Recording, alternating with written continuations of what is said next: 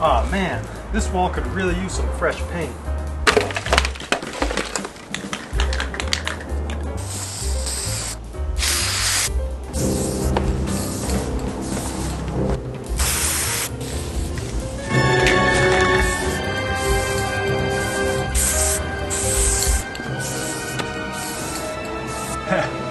Sick. YOLO swag, am I right? What the?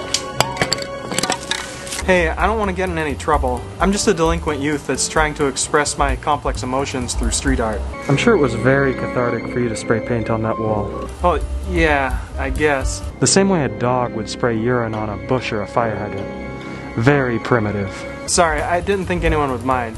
Um, I'm I'm just gonna go. Not so fast. I'm gonna teach you a lesson you should have learned a long time ago.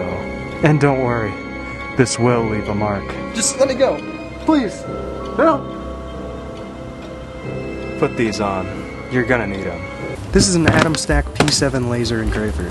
Its powerful 5 watt laser diode is able to engrave custom patterns into wood, plastic, steel, and even stone. Oh yeah, that's actually pretty cool. I know, right? I don't know why you look so worried. The AtomStack P7's precision optics can help it focus its laser beam down to a 0.02 millimeter square area, which helps it resolve fine details and achieve incredibly high light intensity. I don't really know what any of that means. It has a lightweight and compact frame, so you can take it with you wherever you go. And since it uses a common 12 volt power system, that means you can run it off the included power supply through your car's accessory plug, or even off a small battery pack like this one. Who are you talking to? Yeah, you can leave now. I just needed to film an intro. Really? Well, now I kind of want to see how this turns out. Today I'm going to be checking out the AtomStack laser engraving machine. This is a 5 watt laser, but they say it comes to a very fine focus point, so it can cut materials much larger than its wattage would suggest. On my coffee table we have a bunch of materials that I'm going to try cutting and engraving. I've got wood, plastic, carbon fiber, stone, metal, and more. So in this video we're going to really put this machine to the test. Looks like it comes with a cutting mat, we've got a Type A USB cord, power supply, some kind of control board that's built into one of the legs, miscellaneous tools, and some test parts. This looks like one axis of the motion control system. It uses V-groove wheels that are very similar to what you'd find on a 3D printer. And here's the laser module. This machine doesn't look too complicated to build. It's basically just five parts you have to attach together. So step one is to just attach these two axes together. Step two, just put these up on the cones like this. Attach these legs. These are all the fasteners I need for this part of the assembly. And make sure the wire doesn't get pinched when you tighten these bolts down. Step three, it looks like the belt is already installed on this axis. So I need to attach the belt for this axis. I'm just going to put these two bearings on the screw along with the cylindrical spacer and then screw it in over here. Now I just need to string the belt around. I just put these belts into the frame like this. If I needed to adjust the belt tension, I could loosen this screw and slide this back and forth a little bit. Step 4 is to install the laser module. It has guide rails on the side that slide into the rails on this gantry. Just attach it right here. And then I can move this up and down to adjust to the height of whatever I'm cutting. Alright, and in the step 4 bag we have some stickers that we can apply to the feet. Step 5 is assembling all of the cables. Alright, so I have a little bit of an issue. Right here it's tight, but if I roll this all the way out to the end, it's loose. So it looks like I have a little bit of play here, and I'd like to take care of that by just adjusting these feet. So I can just pull up on this foot over here to make the laser head come down a little bit. That's more like it. Alright, now it's about the same height no matter where the laser is in that axis. Now let's check it out in the other axis here. Yep, that's about the same all the way around. So that means it's hovering right above the surface without the height changing as it moves around, which will be important if I want to get consistent engraving and cutting throughout the entire range of motion. Now that I've got that dialed in, I'm going to put a little bit of extra torque onto these bolts so that they won't move from that adjustment. Now the assembly is complete. It only took about 20 minutes, so this is something that's really easy to put together. The next step is plugging it into my computer and programming it to cut out or engrave some different objects. I highly recommend you get some laser safety glasses. The AtomStack kit doesn't come with safety glasses, so you'll need to buy these separately. I installed some software on my computer called Lightburn, and it's basically a slicer for laser cutters.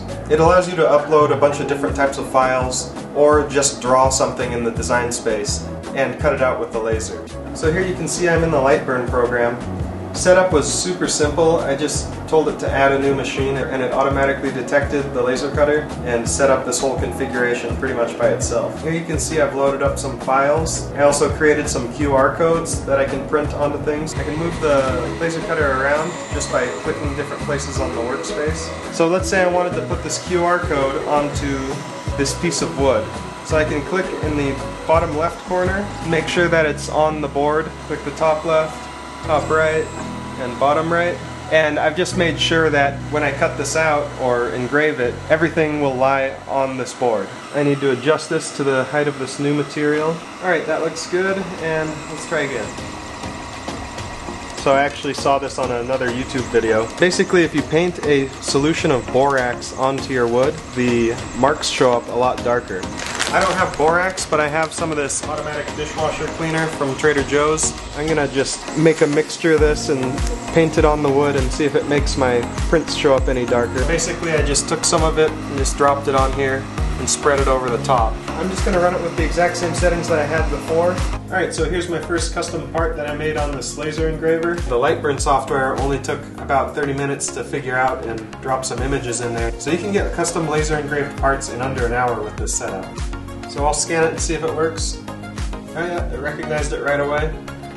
Tap on that link and what do you know, it takes you to my YouTube channel. So go ahead and check that out. So if we compare the original engraving that I was doing, you can see it's showing up a lot better with that detergent solution added. The nice thing about this is for the same amount of time, you can produce more parts if you're using that solution because you can move the laser faster. I got these tiles at a local hardware store. So the nice thing here is I'm getting 18 tiles for the price of one. So this actually turned out looking pretty good. That's definitely etched on there. If I try and brush off this dry erase marker, so you can engrave into stone with this tiny little machine. And frickin' stone. Now if this were a darker stone, it might have been able to engrave it without the use of this marker, but since this is so white and translucent, the laser kind of dissipates through it. I think the marker helps absorb the energy from the laser. Metals are one of the hardest things to cut or engrave with a laser cutter because they've got extremely high temperature resistance and melting points, and it also transfers heat very rapidly. So as the laser is dumping heat into a point, that's being transferred away by the steel very quickly.